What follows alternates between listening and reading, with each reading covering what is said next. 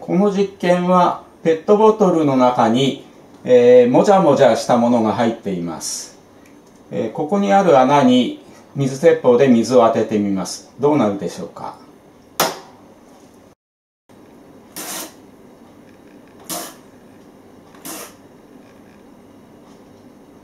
もじゃもじゃしたものは浮き上がりました。これは水を吹き込んだ時に気泡が一緒に引き込まれてますのでそれがえ付着して浮き上がったんです。